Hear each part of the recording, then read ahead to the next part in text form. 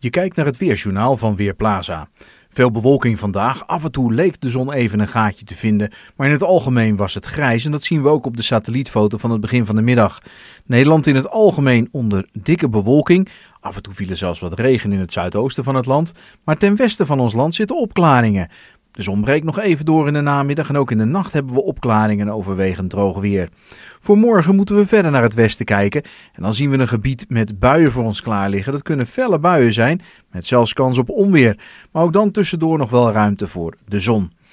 Dat laten weermodellen ook zien met opklaringen in de nacht. Morgen de buien, dan weer wat opklaringen. En donderdag, om het wisselvallige beeld compleet te maken, trekt er weer regen over ons land. Mogelijk klaart het later op de donderdag ook wel weer wat op. Maar zover is het nog lang niet. Eerst de avond en vanavond klaart het wel op. Van het noordwesten uit, met in het zuidoosten misschien nog wat licht gespetter. Maar ook daar wordt het geleidelijk aan droog. Temperatuur rond de graad of 7, het blijft waaien. Ook vannacht. Minimumtemperatuur in het oosten van het land graad of 3, in het westen 5 of 6 graden. Opklaringen en mogelijk alweer een buitje langs de kust. Morgen overdag wordt het steeds buiiger. Tussendoor felle opklaringen met de zon, maar ook pittige buien met onweerskansen erbij. Kan ook hagel bij voorkomen. Temperaturen tussen 5 en 7 graden. Dat is fris ten opzichte van wat we gewend zijn in de afgelopen dagen. En ook wat we de namorgen gaan krijgen. Maar het is wel normaal voor de tijd van het jaar.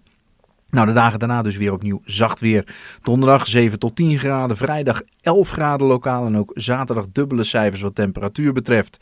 Donderdag eerst regen, daarna wat opklaringen. Vrijdag verloopt meest droog en zaterdag neemt de kans op neerslag opnieuw toe. Dan is de vraag nog even, krijgen we nog een keer winterweer? En het antwoord daarop is voorlopig in elk geval niet. De 0 gradenlijn komt niet of nauwelijks in zicht, ook niet in de nacht. En dat betekent inderdaad dus hoge temperaturen. We zien wel het verschil tussen de dag en nacht iets toenemen. En dat kan op die termijn eigenlijk alleen maar inhouden dat de kans op wat meer zon duidelijk wel wat groter wordt. Ik ben Marco Verhoef van Weerplaza.nl.